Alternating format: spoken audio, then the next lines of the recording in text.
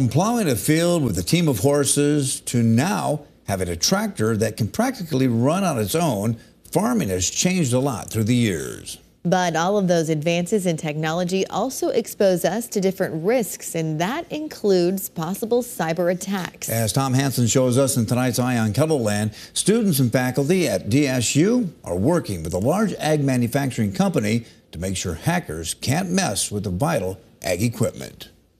Modern farm equipment has come a long way from the tractors our great grandfathers used. No one knows that better than Jeff Bloom, who's been involved in this family owned implement dealership his whole life. You know, we need to be able to protect this three quarters of a million dollar piece of equipment against someone being able to disable it from a world away.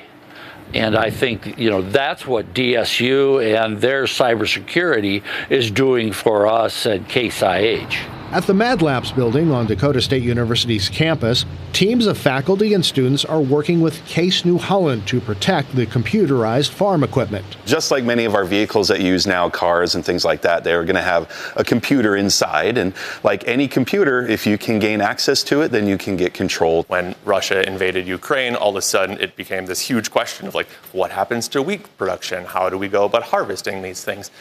If an attacker is able to shut down some equipment, even for a couple of days, that can become extremely problematic on the harvest side of things. Mark Spanier and Austin O'Brien are associate professors working to help protect farm equipment.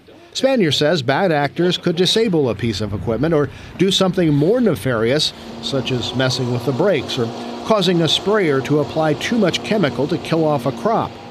The students don't have a half million dollar tractor in the lab, but Case IH has provided them with the next best thing the guts. If you even look over here, you can see we've actually have portions of a tractor. So it's one of these, when we bring people into the lab, sometimes we have essentially kind of the full CAN bus environment set up over there, and people come in and we're like, hey, here's our tractor. And people often are just like, that doesn't look like a tractor. And it's like, well, those are the technical guts inside of that tractor.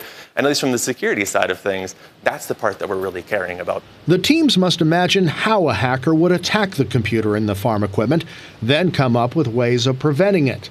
They're also working on detection and how to get rid of malicious information once it's uncovered. Part of the reason why it's so important to be able to protect all that information as the farmers are going through the field and um, creating these maps, they, they, they own that data, and that data needs to be protected.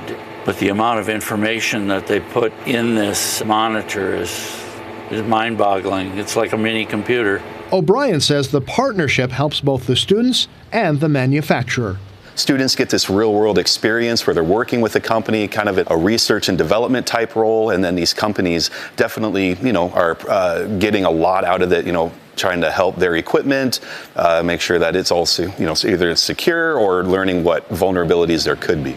As word gets out, we can expect more manufacturers to reach out to DSU, which translates to more opportunities for students to get that all important hands on experience having the young talent come out of South Dakota and having them work right here in Madison is so neat. In Madison, with Eye on KELOLAND, I'm Tom Hanson. A representative with CNH, uh, the parent company of Case Tractors, often travels to Madison to work with the students.